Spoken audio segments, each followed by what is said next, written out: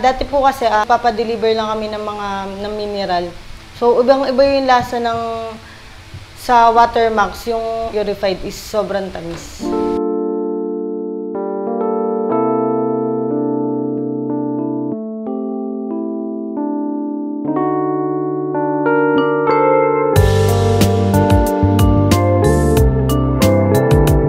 I'm Fatima Glorin D. Pilyas. Ah, anak po ako ni City Dato Manong Pilyas and Clark Pilyas. Um, ang, ang age ko po is 19 years old. Ah, nag-aaral pa lang po ako, first year college po. Ah, sobrang ganda po kasi nung mga machine nila, kaya yun yung nagustuhan nila. Tsaka maganda din yung pagkakaprocess. Kaya po naisipan nila mami at daddy na ang naging maging negosyo po is water station is ito po yung pangunahing pangangailangan ng mga tao. Pag pinasok mo tong water station na to, ah, sa una ka lang gagastos pero sa mga susunod is pasok na lang sa'yo ng pasok yung pera. Pati hindi ka malulugi dito pag lalo na if Watermax yung kinuha mong mga machine. Naisipan namin at saka nila daddy na magtayo ng water station. Ah, matagal na. So naghintay na lang ng taong panahon at saka ng para or magkapera sila daddy tsaka nagpagawa ng water station. Kasi malaki din yung magagastos if ever na magpapagawa ng ganitong business. Um, nakita nila mami yung Watermax na machine, mga machine sa online. Sa online, kasi sa online, naghahanap sila mami ng legit na transaction. Naka-transaction nila mami yung Watermax is sa through social media. And sa social media naman is super legit. Super legit yung Watermax. Yung transaction naman is okay naman. Tsaka yung mga nag-deliver is okay, mababait naman.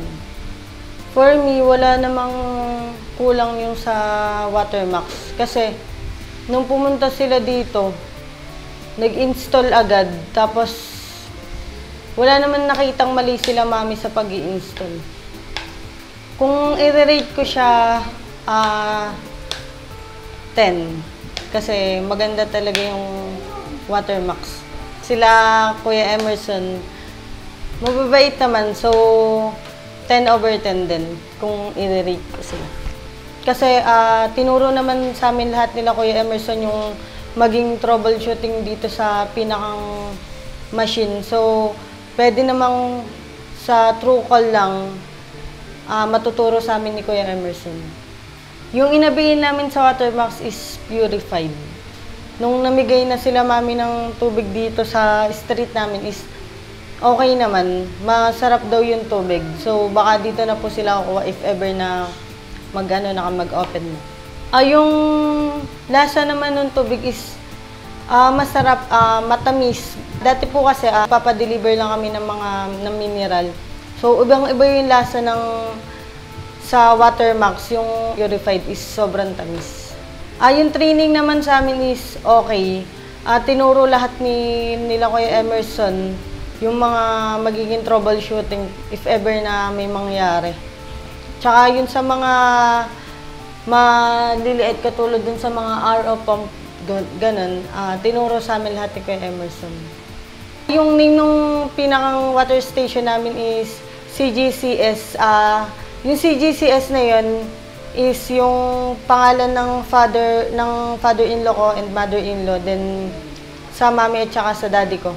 Ah sana kunin nyo din yung Watermax para mag-install sa inyo kasi sobrang solid talaga. And yung pinaka-number namin is 0906-1125-706. Yung address po namin is 110 G. Senya Street, Special District, Halahala, Rizal.